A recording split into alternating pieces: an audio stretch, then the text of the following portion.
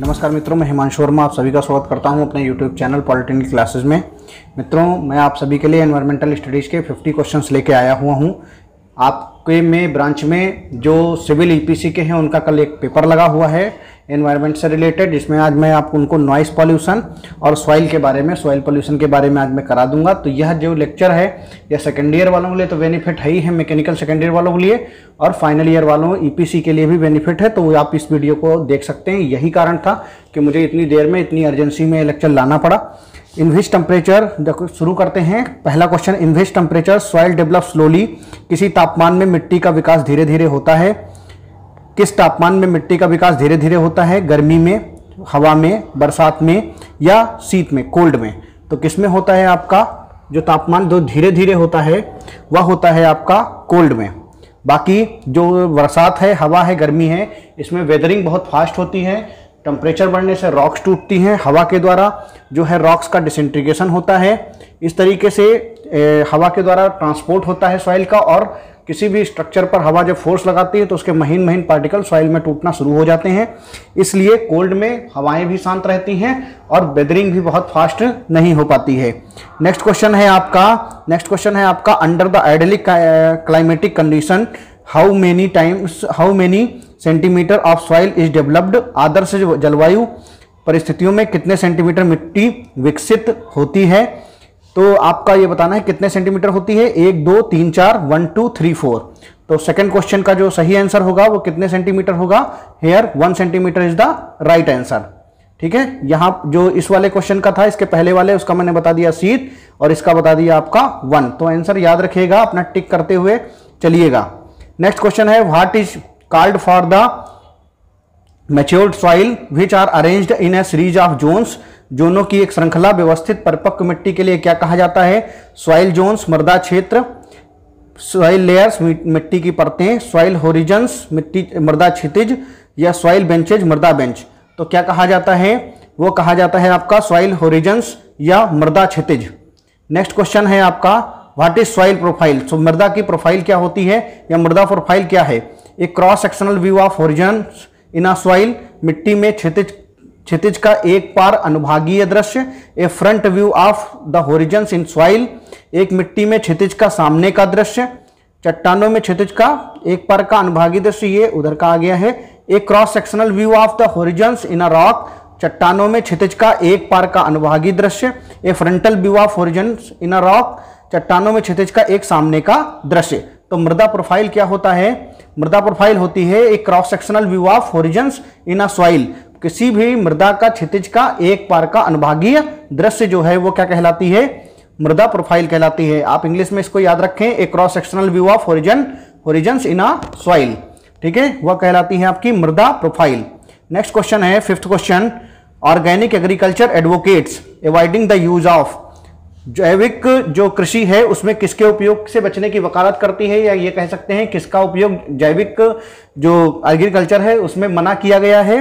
तो option A है organic manures organic manures option A है ऑर्गेनिक मेन्योर्स ऑप्शन बी है स्टोर्ड वाटर संग्रहित पानी ऑप्शन सी है मॉडर्न टेक्नोलॉजी इन हार्वेस्टिंग कुटाई में आधुनिक प्रौद्योगिकियाँ ऑप्शन डी है केमिकल फर्टिलाइजर्स ठीक है? तो आपको इसमें फिफ्थ में आपका पहला क्वेश्चन पहला ऑप्शन है जैविक खाद। जैविक खाद ऑर्गेनिक एग्रीकल्चर में यूज़ करेंगे। बी ऑप्शन है आपका संग्रहित पानी स्टोर्ड वाटर स्टोर्ड वाटर का भी यूज़ करेंगे।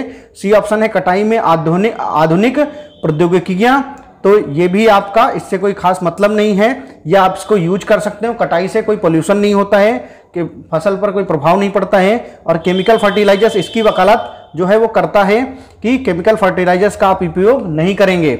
नेक्स्ट क्वेश्चन है आपका how many horizons are there in a soils how many horizons are there in a soils मिट्टी में कितने क्षितिज होते हैं?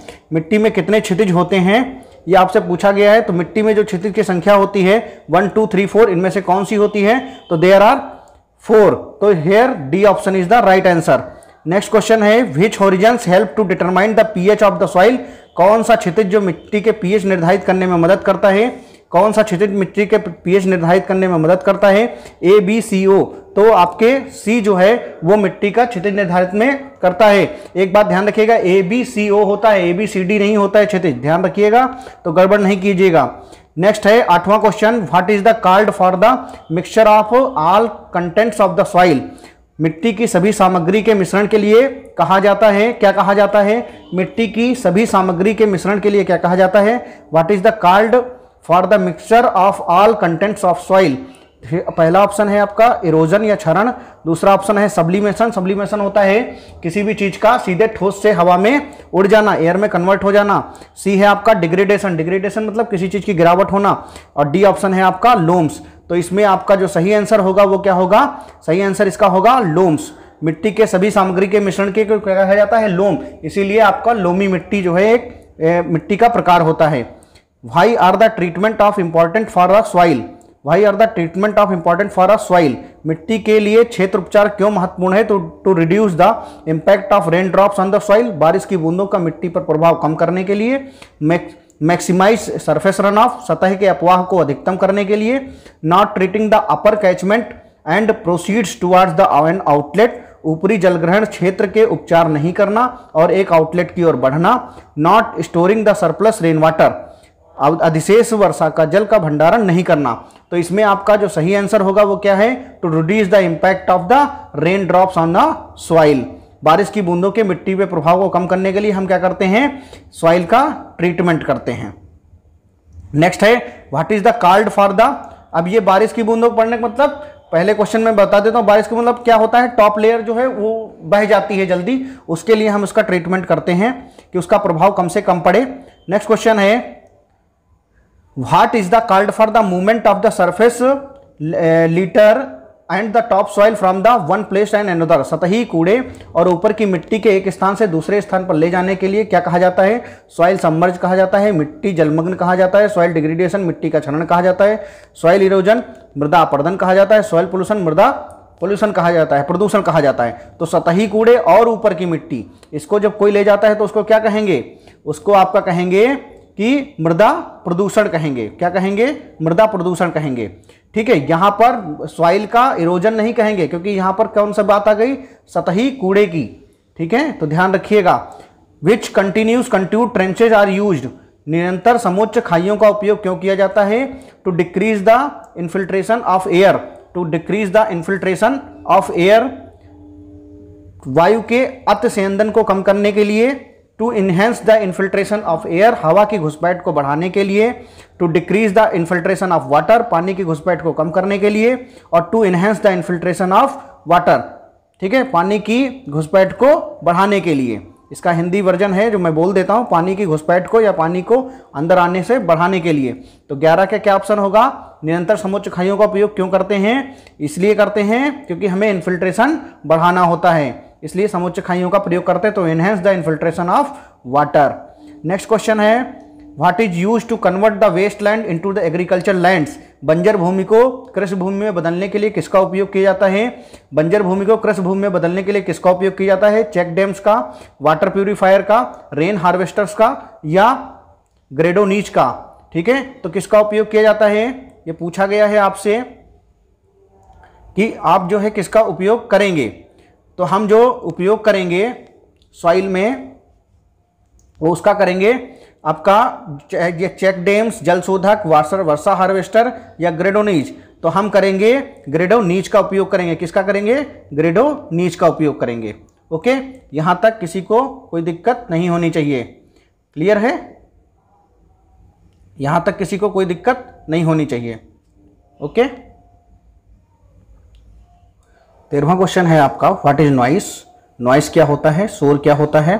Desirable sound desirable and unwanted sound undesirable and unwanted sound undesirable and wanted sound तो आपका शोर क्या है? या आपका नॉइस क्या है? तो नॉइस जो है वो अनडिजायरेबल एंड अनवांटेड साउंड है। ना तो हमें ज़रूरत है और ना ही हमें उसकी जो है इच्छा है। ठीक है? तो अवांछित और अवांछित ध्वनि है। ठीक है? नेक्स्ट है in which unit sound is measured बहुत आसान क्वेश्चन है, ध्वनि को किस माप, इकाई में मापा जाता है? किलोमीटर पास्कल किलोग्राम डेसिबल तो इसको मापा जाता है हमें डेसिबल में। साउंड को किसमें नापते हैं? डेसिबल में। और डेसिबल की लिखते कैसे हैं? इस तरीके से आपको डेसिबल लिखा जाता है डीबी में। बी कैपिटल होगा और डी आपका स्मॉल में होगा। नेक्स्ट क्वेश्चन है आपका what is the dB of threshold for hearing threshold का मतलब है एक लिमिट तो सुनने की सीमा का डीबी में क्या यूनिट है उसकी? सुनने की सीमा का डीबी में यूनिट क्या है? तो उसकी यूनिट ज़ीरो दस, पचास, सौ। तो सुनने की जो सीमा है, उसकी डीबी में यूनिट कितनी है? शून्य। डीबी में यूनिट कितनी है? शून्य। ठीक है? जो सुनने की सीमा है, उसके डीबी में यूनिट कितनी है? शून्य। ये ध्यान रखिएगा आप लोग। नेक्स्ट है what is the dB of threshold pain दर्द की सीमा की वैल्यू क्या है? दर्द की सीमा की वैल्यू क्या है? तो आपकी जो वैल्यू है, दर्द की सीमा की 100 110 120 140 ये सब मैं डीबी में ही बता रहा हूँ। तो डीबी में जो इसकी दर्द की सीमा की यूनिट है, वो क्या है? D 146 146 okay? दर्द की सीमा की। नेक्स्ट आपका क्वेश्चन है। सेवनटींथ क्वेश्चन है what at what decibel instantaneous rupture of membrane happens किस डेसिबल पर झिल्ली का तत्कालिक टूटना होता है? तो तत्कालिक टूटना कितने पर होता है? 100 120 140 150 पर। तो मैंने अभी बताया था, दर्द होगा 146 पर और टूटेगा कितने पर? तत्कालिक टूट जाएगा 150 पर। झिल्ली का टूटना मतलब पर्दा आपने सुना होगा, कान के पर्दे फट गए। तो उस तरीके से जो मेम्ब्रेन है उसका टूट जाना। ठीक है? नेक्स्ट है what is the ambient noise level resident residential one during night time on during night time ये ऑन है वन नहीं है यहाँ पर। इसको ऑन कर लीजिएगा। ये वन गलती से लिख गया होगा। ठीक है? What is the ambient noise level in the residential during the night time रात के समय आवासीय में परिवेश, परिवेशी शोर का स्तर क्या है? 40 डीबी 45 डीबी 50 डीबी 55 डीबी ठीक है? तो इसमें कितना है इसका? 45 dB is the right answer 45 dB is the right answer next question है आपका नाइनटीन क्वेश्चन है। What is the what is called for the temporary hearing loss अस्थाई श्रवण। हानि के लिए क्या कहा जाता है? अस्थाई कान का दर्द अस्थाई सुनने की सुनवाई समस्या अस्थाई सीमा शिफ्ट अस्थाई सुनवाई shift temporary ear pain temporary hearing problem temporary threshold shift और टेम्परेरी हेयरिंग शिफ्ट तो क्या कहा जाता है? वो कहा जाता है टेम्परेरी थ्रेशोल्ड शिफ्ट मतलब उसकी आपकी सीमा जो अस्थाई जो श्रवण होता है, उसकी हानि हो जाती है जब आप ऊँचा सुनने लगते हैं। बोलते ना, ऊँचा सुन रहा है, बहुत तेज बोलना पड़ता है इसको। अस्थाई जब धीरे धीरे वो सहता जाएगा ट्रेन का ड्राइवर होता है। लगातार ट्रेन चलाता रहता है, उसको साउंड उसके कानों में गूंजती रहती है। जब वो नॉर्मल एटमॉस्फेयर में भी आ जाता है, तब भी उसको तेज सुनने की आदत हो जाती है। ठीक है? तो ये टेम्परेरी कहलाएगा टेम्परेरी जो सुनने की क्षमता को बाधित हो जाती है।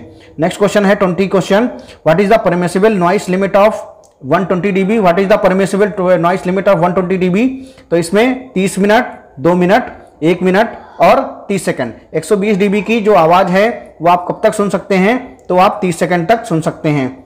नेक्स्ट है, उसके बाद आपको दर्द होने लगेगा और फिर जो है दिक्कत बढ़ने लगेगी।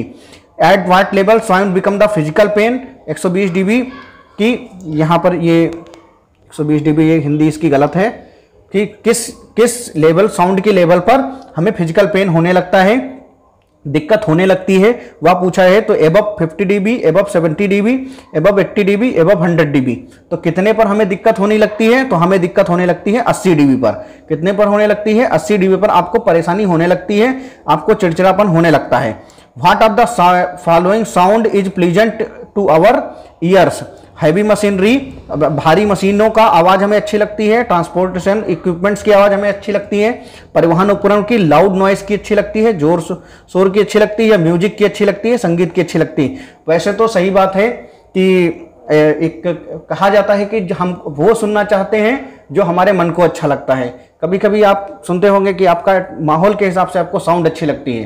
कभी कभी आपको सैड सॉन्ग सॉन्ग्स बहुत अच्छे लगते हैं। कभी कभी आपको पंजाबी सॉन्ग्स बहुत अच्छे लगते हैं। कभी कभी हरियाणवी सॉन्ग्स बहुत अच्छे लगते हैं। तो ये एटमॉस्फेयर का फ़र्क होता है कि आपका जो नेचर है उस टाइम पर जो आपकी आ, आप जो सोचते हैं आपका जो दिल सोचता है मन सोच रहा है वो किस टाइप से उसका बिहेव है। उस हिसाब से आपका साउंड की जो है वो आपको अच्छी लगती है खराब लगती है। लेकिन इस हिसाब से हमें एक नॉर्मल अगर भाषा की बात करें तो आपका इसका सही आंसर होगा म्यूज़िक या संगीत। ठीक है? नेक्स्ट है wild life faces wild life faces more problem than humans due to the noise pollution because animals depends upon ध्वनि प्रदूषण के कारण वन्य जीवों को मनुष्य की तुलना में अधिक समस्याओं का सामना करना पड़ता है, क्योंकि जानवर पर निर्भर होते हैं। तो आपको ज़्यादा समस्या को सरना पड़ना wild life faces more problems than the humans due to the noise pollution because animal depend upon तो एनिमल्स किस पे डिपेंडेंट अपॉन निर्भर होते हैं तो वो किया गया है नॉइस पर, ध्वनि पर, क्रियाओं पर, व्यवहार पर। तो वो ज़्यादातर निर्भर किस पर होते हैं? ध्वनियों पर निर्भर होते हैं। जब ध्वनियाँ उत्पन्न होती हैं, आपने जानवर को देखा होगा, आप कोई ध्वनि होता है वो डिस्टर्ब होने लगते हैं। ठीक है? नेक्स्ट है how many fundamentals ways in which soil can be controlled शोर को कितने मूलभूत तरीकों से नियंत्रित किया जा सकता है? एक तरीका, दो तरीका, तीन तरीका, चार तरीके। तो वन टू थ्री फोर किन तरीकों से आप नियंत्रित कर सकते हैं? तो उसको नियंत्रित कर सकते हैं आप चार तरीके से। क्लियर जल्दी जल्दी मैं क्वेश्चन को आपको बता रहा हूँ, क्योंकि टाइम बहुत ज़्यादा नहीं है। Which is the best way to control noise pollution among the four fundamental way चार मूलभूत तरीकों में से ध्वनि प्रदूषण को नियंत्रित करने का सबसे अच्छा तरीका कौन सा है? Reduce noise level at the source स्रोत पर शोर को कम करें। Block the pain of noise शोर को, शोर का रास्ता अवरुद्ध करें। इंक्रीज द पाथ लेंथ पथ की पथ की लंबाई बढ़ाएँ। प्रोटेक्ट द रेसिपेंट प्राप्तकर्ता को सुरक्षित रखें। तो इसमें आपका जो सही ऑप्शन होगा वो क्या होगा? Reduce noise at the source source पर जहाँ से सोर सोर्स क्या होती है? जहाँ पर सोर का मेन सोर्स होता है, जहाँ से साउंड जो है वो उत्पन्न हो रही हो। तो reduce the noise at the source source पर हम नॉइस को क्या करेंगे? कम करेंगे। How many how can we reduce the noise in in the industries how can we reduce the noise in industries हम उद्योगों में शोर को कैसे कम कर सकते हैं? By not using the heavy machinery भारी मशीन का उपयोग ना करने से by using the rigid sealed enclosures कठोर सीलबंद बाड़ों का उपयोग करने से by using the more robotics अधिक रोबोटिक्स का उपयोग करने से by reducing the production of the industry उद्योगों के उत्पादन को कम करने से। तो हम किस तरीके से इंडस्ट्री में शोर कम कर सकते हैं? तो वो आपका सही ऑप्शन इसमें क्या होगा? कठोर सीलबंद बाड़ों का उपयोग करके या रिजिड सील्ड इंक्लोजर का उपयोग करके। ठीक है? नेक्स्ट क्वेश्चन है आपका what is the main source of the vehicular noise what is the main source of the vehicular noise वाहन के शोर का मुख्य स्रोत क्या है? High speed vehicles tyre footpath पर वाहनों के टायरों की आवाजाही ठीक है? उसके बाद कम दबाव और ईंधन, इंजन फ्यूल इंजन। तो आपका क्या ऑप्शन इसका सही होगा?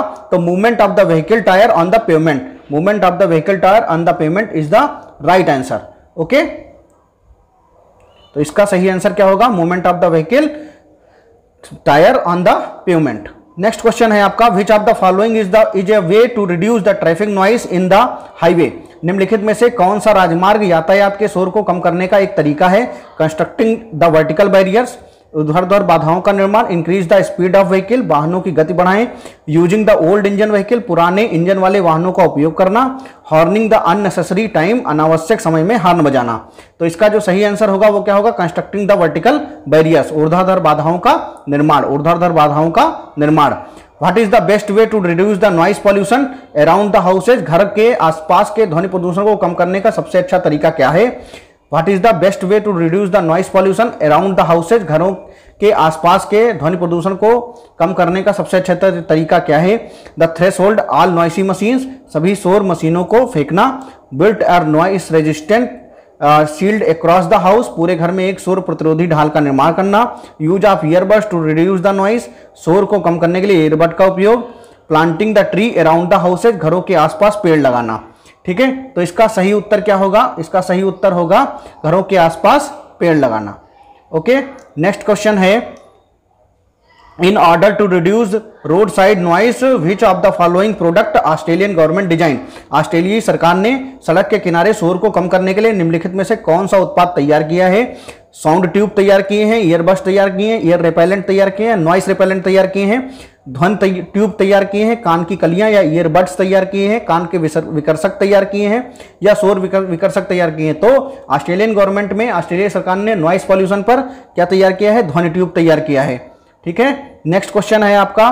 What is use what is use during during sleep in order avoid noise pollution ध्वनि प्रदूषण से बचने के लिए नींद के दौरान क्या प्रयोग किया जाता है? मुखौटा प्रयोग किया जाता है ईयर प्लग प्रयोग किया जाता है, सूती कमीज प्रयोग की जाती है जैकेट्स प्रयोग किया जाता है।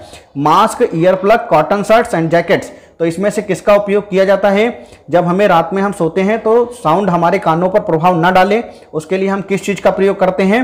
तो हम ईयर प्लग्स का प्रयोग करते हैं। ईयर प्लग्स का मतलब ये नहीं है कि जो कान में जो सॉन्ग्स गाने गाते हैं, वो नहीं होते ईयर प्लग्स ईयर प्लग्स वो होते हैं जो आपने लोगों ने देखा हो कुछ लोग रुई लगा के सोते हैं, चाहे वो खर्राटों की वजह से, दूसरे के, या फिर जिनको साउंड्स की प्रॉब्लम रहती है थोड़ी सी आवाज़ से जग जाते हैं, वो कानों में एक ईयरबड्स आते हैं, जो कान के, जो शोर को बिल्कुल क्लोज कर लेते हैं। बहुत शांति से और वो सो जाते हैं। बहुत लोगों ने आपने देखा आई कवर आते हैं, जो लोग लाइट जला के सोने के आदि होते हैं, वो आई कवर लगा के सोते हैं।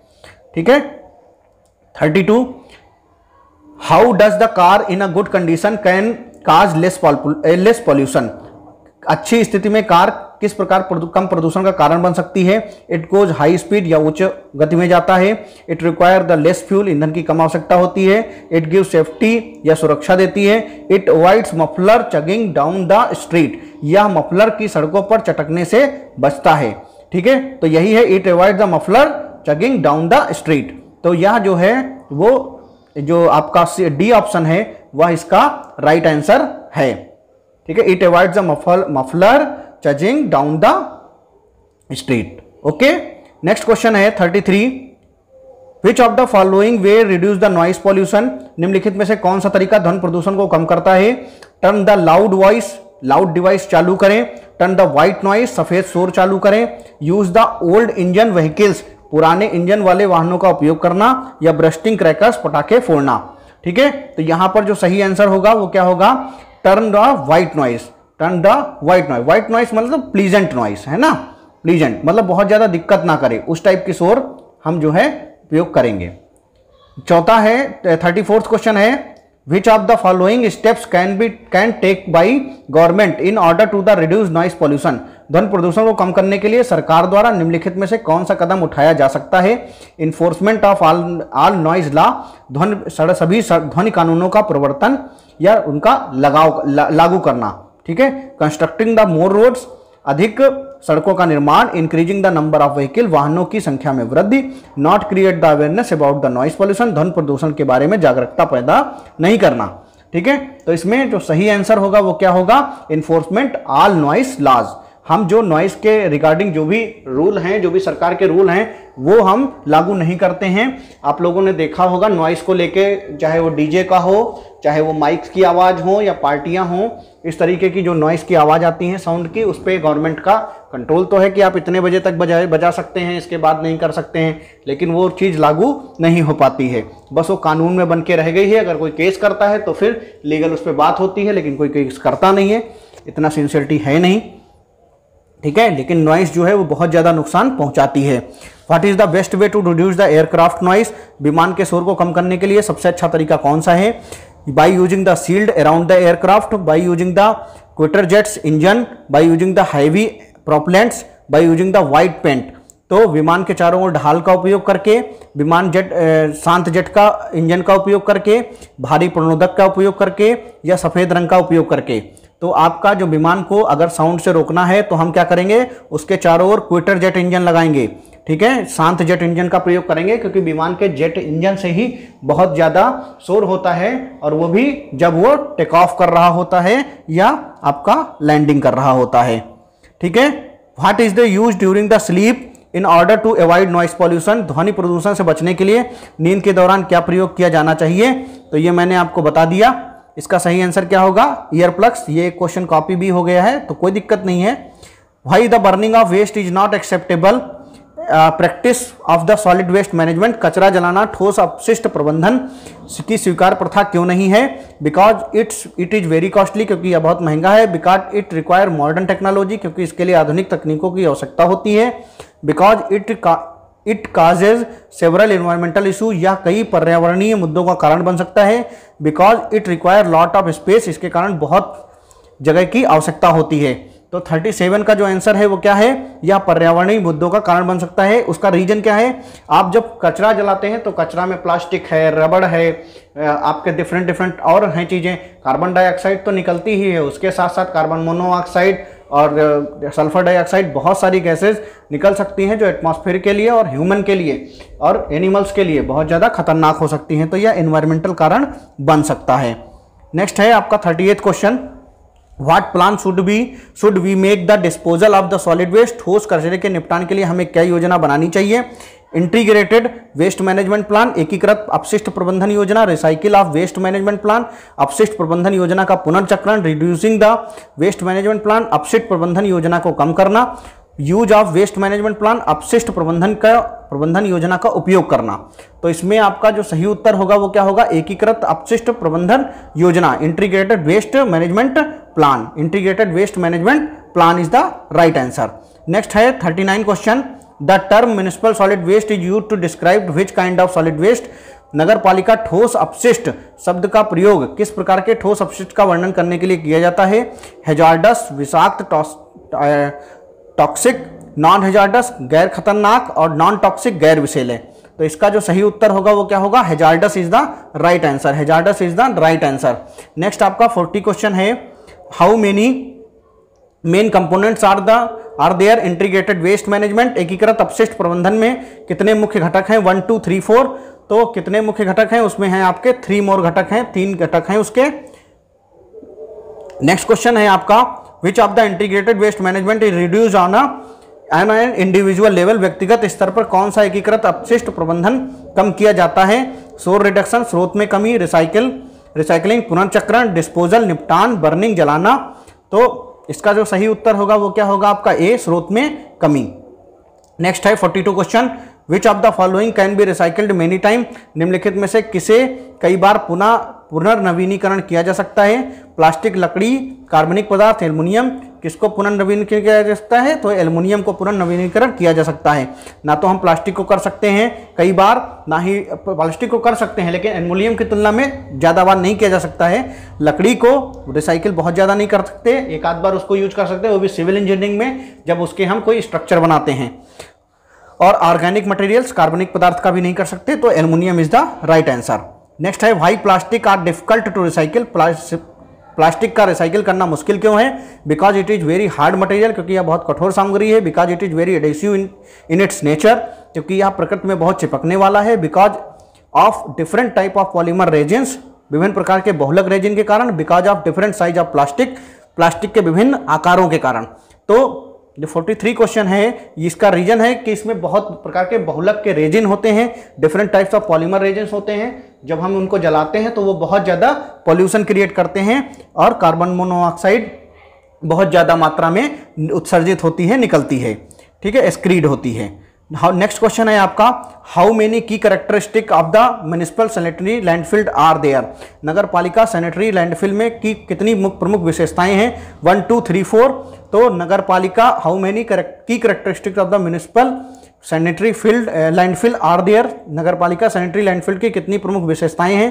वन टू थ्री फोर तो there are three C option is the right answer next है how does the organic material in bury in buried solid waste will decompose दबे हुए ठोस कचरे में कार्बनिक पदार्थ कैसे विकटित होगा? By the action of oxidation oxygen ऑक्सीकरण की क्रिया द्वारा by the action of micro सूक्ष्म जीवों की क्रिया द्वारा by the flows of flow of water पानी के प्रवाह द्वारा बाई द सॉइल पार्टिकल मिट्टी के कणों कणों द्वारा। तो 45 क्वेश्चन का सही आंसर क्या है? जो जब कचरा दब जाता है तो उसमें कार्बनिक किसके द्वारा विघटित होता है? आप जानते हैं, जैसे उसमें कीड़े लगते हैं और यह छोटे छोटे बारीक बारीक जो आँखों से नहीं दिखाई देते, उनको बोलते हैं माइक्रो ऑर्गेनिज्म और उसके द्वारा सूक्ष्म जीवों की क्रिया द्वारा वो विघटित हो जाता है। ठीक है? इसी तरीके से, इसी इन्हीं के द्वारा हम बर्मी कंपोस्ट का भी निर्माण करते हैं। अगर आपसे पेपर में पूछा जाए बर्मी कंपोस्ट का निर्माण किससे होता है तो केचुओं के द्वारा होता है। ठीक है? वो भी एक माइक्रो माइक्रो ऑर्गेनिज्म का ही प्रकार है। ठीक है? नेक्स्ट है आपका, या गोबर की खाद जो सड़ती है, वो भी माइक्रो ऑर्गेनिज्म का प्रकार है, दही जो बनता है, वो भी माइक्रो ऑर्गेनिज्म है। What is the called the what is the called for the process of the burning of municipal solid waste in the properly designed the furnace under the suitable temperature and operating conditions उपयुक्त तापमान और परिचालन की स्थितियों में, स्थितियों के तहत एक उचित रूप में डिज़ाइन की गई भट्टी में नगरपालिका के ठोस अपशिष्ट को जलाने की प्रक्रिया को क्या कहा जाता है? देखिए, जैसे हम कोई नगर पालिका में कोई चीज़ है, ठीक है, उसको हम ऐसी तरीके से किसी जैसे नगर पालिका जो कूड़ा इकट्ठा करते हैं वो ले जाते हैं और उनको अगर जलाना ही है तो वो किस तरीके से जलाएँगे? बहुत अच्छी तरीके से अगर जलाते हैं, उचित रूप में, और एक स्पेशल भट्टी में डिज़ाइन करते हैं तो वह प्रक्रिया क्या कहलाती है? वह प्रक्रिया क्या कहलाती है? पहला ऑप्शन है लैंडफिल दूसरा ऑप्शन है रिसाइकलिंग पुनर्चक्रण, तीसरा ऑप्शन है वर्मी कंपोस्टिंग वर्मी कंपोस्टिंग और डी ऑप्शन है भस्मीकरण या इंसिनरेशन तो जब जलाने की बात आ ही गई है तो इसको बोलते हैं भस्मीकरण या इंसिनरेशन इसमें क्या होता है? गैसों को भी रिसाइकिल कर दिया जाता है। और जब हम किसी चीज़ को जलाते हैं, अगर हम उस गैस को रिसाइकिल नहीं कर पाते तो हम कचरे में ये देख लेते हैं, कौन सा मटेरियल कौन सी गैस उत्पन्न करेगा तो उसको अलग कचड़े को कर लिया जाता है। कचड़े को पहले सेग्रीगेट कर लिया जाता है, जैसे प्लास्टिक है एलुमिनियम है, इन चीज़ों को कचरे से अलग करके बाद में उसको इंसिनरेट किया जाता है। ठीक है? नेक्स्ट क्वेश्चन है why the recycled paper is banned for use in product food containers पुनर्नवीनीकरण कागज़ को खाद्य कंटेनर के उपयोग के लिए प्रतिबंधित क्यों किया गया है? बिकॉज़ इट क्रिएट्स का कंटामिनेशन क्योंकि यह संदूषण पैदा करता है। Because it creates the lot of space क्योंकि यह बहुत सारे स्थान बनाता है। Because paper can be use only for one time क्योंकि कागज़ का उपयोग केवल एक पर किया जाता है। Because paper is very thick and can not cover food containers क्योंकि कागज़ बहुत मोटा होता है और खाद्य कंटेनर को ढक नहीं सकता है। ठीक है? तो 47 का जो सही उत्तर होगा वो क्या होगा? क्योंकि हम भाई, क्योंकि because it Kunte creates contamination by which recycle paper is banned for the food containers ठीक है? क्योंकि यह हम फ़ूड कंटेनर में इसलिए यूज़ नहीं कर सकते, क्योंकि यह कंटामिनेशन पैदा करता है। इट क्रिएट्स कंटामिनेशन ठीक है? तो इसका ए आंसर जो है वो करेक्ट होगा। A answer is the right answer 47 का। नेक्स्ट क्वेश्चन है आपका। 48 how does the organic material in the buried solid waste will decompose दबे हुए ठोस कचरे में कार्बनिक पदार्थ कैसे विकटित होगा? By the action of oxidation ऑक्सीकरण क्रिया द्वारा by the action of micro organism सूक्ष्म जीवों की क्रिया द्वारा by the flow of water पानी के प्रवाह से बाई द सॉइल पार्टिकल मिट्टी के कणों द्वारा। ठीक है? तो किसके द्वारा होगा? वो होगा by the action of micro organism ठीक है? नेक्स्ट क्वेश्चन है आपका forty ninth question when did the Indian forest are stabilized Bharat one अधिनियम की स्थापना कब हुई थी? भारत वन अधिनियम की स्थापना कब हुई थी? ये पूछा गया है। तो 1911 में 1914 में 1925 में 1927 में तो भारतीय अधिनियम, भारतीय फॉरेस्ट अधिनियम की स्थापना जो है, या इंडियन फॉरेस्ट एक्ट की जो स्थापना है, वो हुई थी 1927 में। उन्नीस ईस्वी में भारतीय वन अधिनियम की स्थापना की गई थी, जिसमें हम वनों के रक्षण के लायक बनाते हैं। और एक चीज़ वन को कटाई के लिए, रोकने के लिए जो सबसे बड़ा जो अभियान चलाया गया, वो सुंदरलाल बहुगड़ा के द्वारा चलाया गया और उनके द्वारा जो आंदोलन चलाया गया, उसका नाम है चिपको आंदोलन। ठीक है? अभी दिल्ली गवर्नमेंट ने सुंदरलाल बहुगड़ा को भारत रत्न देने की मांग केंद्र सरकार से की हुई है। ठीक है? फिफ्टी क्वेश्चन है. In in 1972 which act formed in India to protect the wildlife of India उन्नीस सौ बहत्तर में भारत के वन्य जीवों की रक्षा के लिए भारत का कौन सा अधिनियम बनाया गया? इंडियन फॉरेस्ट एक्ट वन अधिनियम वाइल्ड प्रोटेक्शन एक्ट वन्य संरक्षण अधिनियम इन्वायरमेंट एक्ट पर्यावरण अधिनियम नेचुरल प्रोटेक्शन एक्ट प्राकृतिक संरक्षण अधिनियम। तो कौन सा बनाया गया? आपका बनाया गया वन्य जीव संरक्षण अधिनियम। वन्य जीव संरक्षण अधिनियम। ठीक है? तो यहाँ पर ये आज का लेक्चर मेरा यहाँ समाप्त होता है। हो सकता है थोड़ी सी साउंड की प्रॉब्लम रही हो, आसपास की जो साउंड्स आ रही हो, उसकी दिक्कत रही हो। उसका रीज़न है कि मैं आज इमरजेंसी में बाहर बैठ के लेक्चर बना रहा हूँ। वैसे मैं जो रात में बनाता था या ऐसी जगह बनाता था जहाँ पर आवाज़ ना हो, लेकिन चूँकि यह लेक्चर बनाना बहुत ज़रूरी है, इसलिए हमने जो है ओपन एटमॉस्फेयर में भी लेक्चर बनाने को सोचा इमरजेंसी में। हमें पास टाइम ना होने के बावजूद भी आप लोगों के लिए लेक्चर बनाया, क्योंकि ईपीसी e वाले बच्चे बहुत परेशान हो रहे थे। उनको देखते हुए अब उन लोगों का कोई चैप्टर नहीं बचा है। एक चैप्टर थोड़ा सा अगर आएगा इन्वायरमेंट इम्पैक्ट असेसमेंट उसको वो थोड़ा सा कर लें। बाकी जो इन्वायरमेंटल स्टडीज़ के स्टूडेंट हैं मैकेनिकल वाले, उनके लिए मैं इसमें एक दो लेक्चर और लेके आऊँगा। अभी थोड़े दिन, क्योंकि उनका पेपर अभी काफ़ी टाइम है तो उनके लिए लेकर आऊँगा और बहुत जल्दी उनका सिलेबस भी समाप्त कर दिया जाएगा। और बाकी रक्षाबंधन का पर्व और त्यौहार के लिए अभी आने वाला है आपका, उसके लिए हम आपको बहुत हार्दिक बधाई देते हैं। और हम ये चाहते हैं कि इसी तरीके से जो देश जो है, उसमें हमारी महिलाओं की इज़्ज़त जो है, वो लगातार बनी रहे। महिला सुरक्षा में देश हमेशा टॉप पे रहे। ठीक है?